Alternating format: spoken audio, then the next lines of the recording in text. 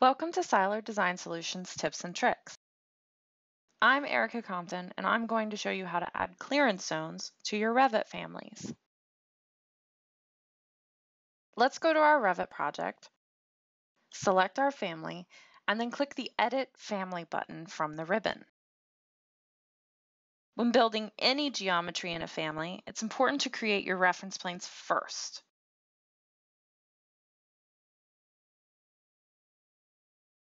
Reference planes act as a skeleton for your family geometry.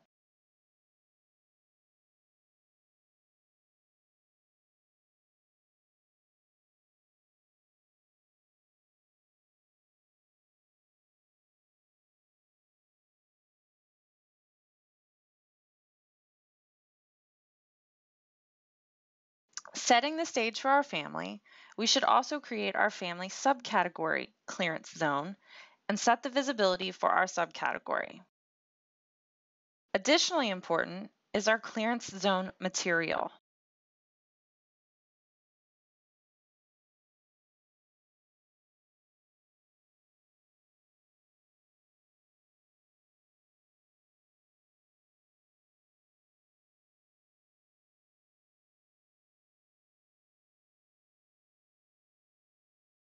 Within the material asset we create for clearance zone, we want to set our transparency and color.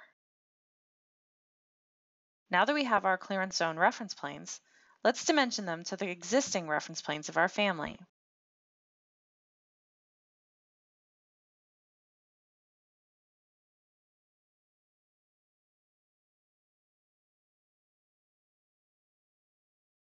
Each of our dimensions can now be assigned a label with a new family instance parameter.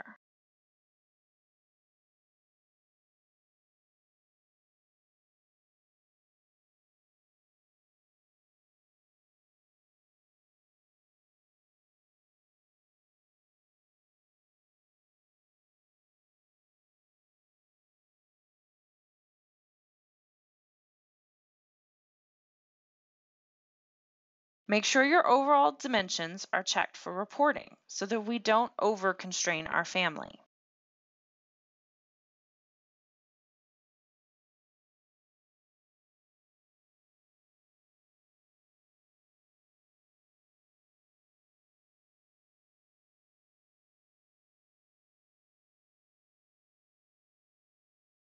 With dimensions labeled, Let's flex our parameters and verify they behave as we expect them to.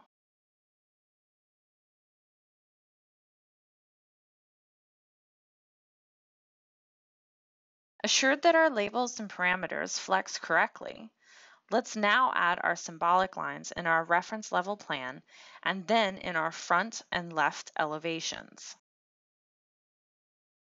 Next, let's create our extrusion, making sure to snap the reference plane's intersections, assigning the clearance zone material, and our clearance zone subcategory before we hit finish.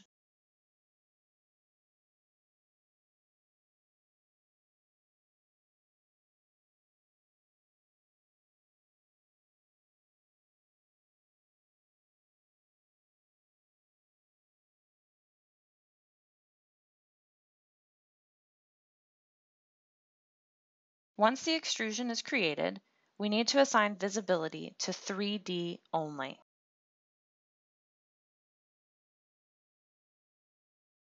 Our family has a complete clearance zone added, so let's load it into our project. Before we consider our work complete, let's again verify that our family behaves as expected in our project. Do the symbolic lines have grips in plan and elevation? Yes, they do.